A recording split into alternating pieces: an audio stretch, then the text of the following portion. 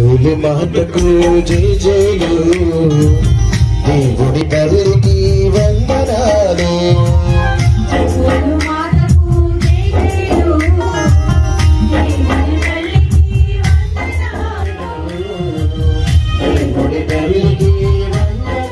ప్రభు అయిన యేసుక్రీస్తు పేరిట అందరికీ శుభములు. చేబ్రోలు మరియమాత పుణ్యక్షేత్రం సమర్పించు. క్రీస్తు జనని కన్యమరియ అను ధ్యాన గడియకు స్వాగతం. దేవదూత లోపలికి వచ్చి ఆమెతో అనుగ్రహ పరిపూర్ణురాల నీకు శుభము. ఏలిన వారు నీతో ఉన్నారు అనిను. లోకస్వార్థ మొదటి అధ్యాయం ఇరవై ఎనిమిదో వచ్చిన సోదరి సోదరులరా మనం ఒక విషయం గురించి చాలా జాగ్రత్తగా ఉండాలండి. కన్యమరియ జన్మ పాప రహితగా నిష్కలంకగా జన్మించింది. దేవుణ్ణే తన గర్భంలో మోసి కన్నది కాబట్టి ఆమె దేవుని వలె పరిశుద్ధురాలు దేవుని వలె పూజ్యార్హురాలు అనుకోకండి. మన పూజలను అందుకునేవాడు దేవుడు ఒక్కడే. ఆయన మాత్రమే స్తుతి పాత్రుడు స్తోత్రార్హుడు. ఎందుకంటే ఆయన స్వయంభూ అనాది అశరీరి మితిలేని సకల మేలుల స్వరూపి. జ్ఞానము శక్తి చేత సర్వవ్యాప్తి సర్వమునకు ఆది కారణం. ఆయన తనంతటి తానుగా ఉన్నాడు సకలమును సృష్టించి అన్నింటికీ మూలమయ్యాడు. కాబట్టి మనం దేవుణ్ణి మాత్రమే పూజిస్తాం కానీ కన్యమర్యను గౌరవిస్తామండి. ఎందుకంటే ఆమె పరిశుద్ధుడైన దేవుణ్ణి తన గర్భంలో మోయడం కోసం జన్మ పాప కళంకు నుండి కాపాడబడింది. దేవుని చేత కాపాడబడింది గుర్తుంచుకుందాం. దేవుని కృప వలన కాపాడబడింది తన స్వంత శక్తి వలన కాదు. అయితే అది ఈ భూమి మీద ఏ స్త్రీకి దక్కని భాగ్యం అండి అందువలన ఆమెను ధన్యురాలు అని మనం కొనియాడుతున్నాం. చూడండి మన పిల్లలు చదువుల్లో మంచి ర్యాంక్ తెచ్చుకుంటే వాళ్ళని మెచ్చుకుంటాం. ఎవరైనా పెద్ద ఉద్యోగం సంపాదిస్తే వాళ్ళని పొగుడుతాం. కన్యమర్యను కొనియాడడం కూడా అలాంటిదే. అంతేగాని మనం ఆమెను దేవుడు దేవత అని స్థుతించమండి ఎవరైనా అలా చేస్తే అది చాలా పొరపాటు. దాన్ని సవరించుకోవాలి. ఇక కన్యమర్య నిష్కళంక జననాన్ని గురించి చెప్తూ ఆమె జన్మ పాపం నుండి ఎలా భద్రపరచబడిందో శ్రీసభ చాలా చక్కగా వివరించిందండి. క్రీస్తు శిలువ మరణం తెచ్చిన రక్షణ ఫలాలను దేవుడు ముందుగానే ఆమెకు వర్తింపు చేసి ఆమెను జన్మ పాపం నుండి తప్పించారు అని శ్రీ శ్రీసభ అంటూ ఉంది. On eighth December eighteen fifty four Pope Pius the ninth promulgated an apostolic constitution entitle Ineffabilis Deus wherein he said we declare pronounce and define the the most blessed Virgin Mary in the first instance of a conception was preserved free from all stain of original sin by a singular grace and privilege granted by Almighty God in view of the merits of Jesus Christ, the Savior of the human race.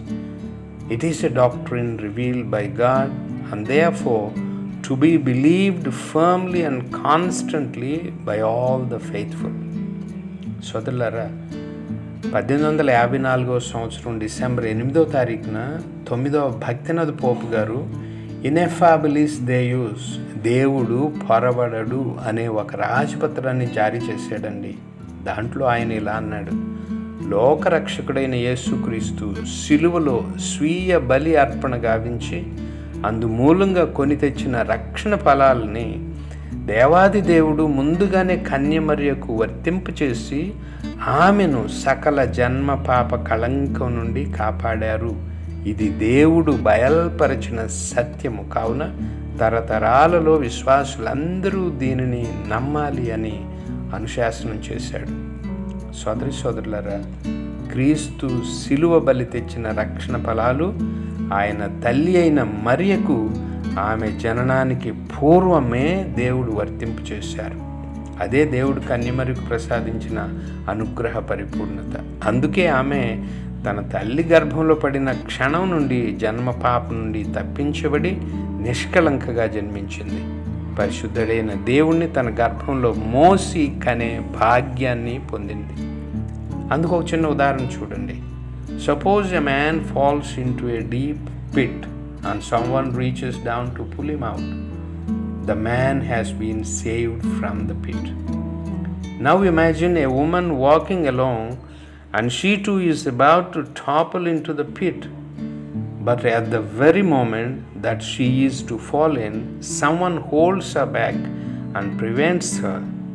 She too has been saved from the pit, but in an even better way.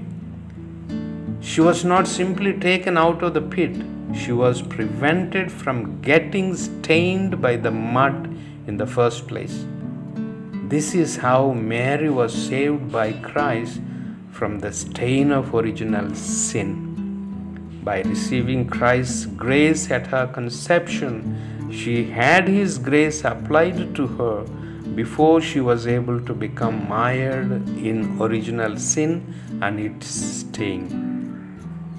కన్యమరియ తన తల్లి గర్భంలో పడిన క్షణం నుండి ఏ విధంగా నిష్కళంకగా ఉందో జన్మ పాపం భద్రపరచబడిందో చూసారా ఒక వ్యక్తి ఆ లోతైన గుంటలో పడిపోయాడు అనుకుందాం.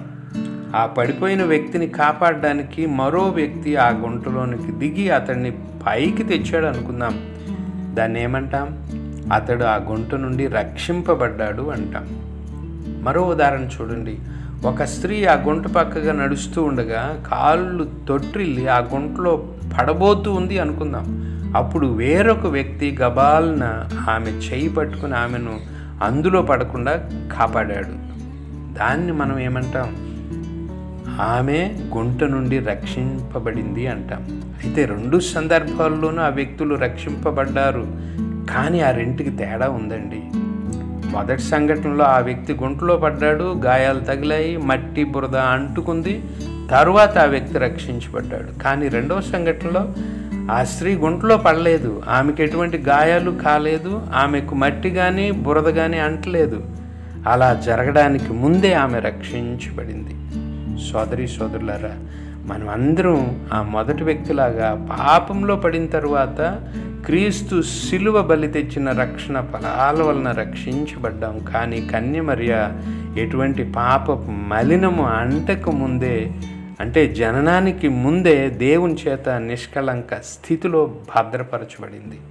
క్రీస్తు శిలువ బలి తెచ్చిన రక్షణ ఫలాలు జననానికి ముందే ఆమెకు అన్వయించబడ్డాయి. అందుకే ఆమె జన్మ పాప రహితగా జన్మించింది. అయితే ఇలా జరగడం అసాధ్యం అని అనేకులు అంటారండి. కానీ దేవునికి అసాధ్యమైంది ఏదైనా ఉందా అండి? ప్రాయం చెల్లి స్త్రీ ధర్మం నిలిచిపోయిన సారా గర్భాన్ని పండించి కొడుకును పుట్టించడం దేవునికి అసాధ్యం కాలేదే. అటువంటి సర్వశక్తిమంతుడైన దేవుడు కన్యమరిను జన్మ పాపం సోకుండా భద్రపరచలేడా?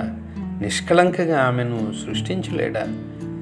కాబట్టి పరిశుద్ధుడైన దేవుని తన గర్భంలో మోయడం కోసం కన్యమర్య నిష్కలంకగా జన్మపాప రహితగా దేవుని చేత సృష్టించబడింది అన్న సత్యాన్ని కాదనడం సాక్షాత్తు దేవుని శక్తిని ఆయన దివ్య ప్రణాళికలను కాదనడం అవుతుందని గుర్తుంచుకుందాం. సోదరి సోదరులారా దీని నుండి మనం ఒక మర్మాన్ని గ్రహించాలండి. దేవుని సన్నిధిలో ఉండాలంటే ఆయనకు చెందిన వాళ్ళుగా జీవించాలంటే మనలో పరిశుద్ధత అవసరము అని మరియ తల్లి మనకు బోధిస్తూ ఉన్నారు. క్రీస్తుని తన గర్భంలో మోయడానికి ఆమె జన్మ పాపరహితగా జన్మించి నిష్కలంకగా జీవించినట్లు ప్రతి క్రైస్తవుడు ప్రతి క్రైస్తవురాలు క్రీస్తును తమ దేహంలో మోయడం కోసం ఆయన్ను లోకంలోనికి తీసుకువెళ్ళడం కోసం పరిశుద్ధులుగా జీవించాలి. నిర్మల హృదయులు ధన్యులు వారు దేవుని కుమారులు అనబడుదురు అన్న ప్రభు మాటలను మనం జ్ఞాపకం ఉంచుకుని జీవిద్దాం. దేవుని బిడ్డలకు పరిశుద్ధత ఎంతో అవసరమండి. మనం శుద్ధులం కాకపోతే పరిశుద్ధుడైన దేవునికి సాక్ష్యం ఇవ్వలేం. కాబట్టి మరియ తల్లికి ఇచ్చిన నిష్కళంక స్థితిని మనకు కూడా దయచేయమని దేవుణ్ణి వేడుకుందాం. చిన్న ప్రార్థన చేసుకుందాం. ప్రియమైన ప్రభు మీకు జన్మనివ్వనున్న కన్యమరిను జన్మ పాపం నుండి భద్రపరిచి పరిశుద్ధతను నీ పరిశుద్ధతను ఆమెకిచ్చావు. అందువలన ఆమె మీకు తల్లి కాగలిగింది. ప్రభు మాకు కూడా మీ పరిశుద్ధతనివ్వండి. మిమ్మల్ని లోకంలోకి మోసుకెళ్ళి మీకు సాక్షులుగా జీవించటానికి అవసరమైన కృపానుగ్రహాలను మాకు దయచేయండి. ఆమెన్. మరియ తల్లి విజ్ఞాపన ప్రార్థన ఫలమును ప్రభు మనకు అనుగ్రహించెదురుగాక. ఆమెన్. సోదరి సోదరులారా కన్యమర్య నిజదేవుని తల్లి అన్న అంశాన్ని వచ్చేవారం ధ్యానం చేద్దాం.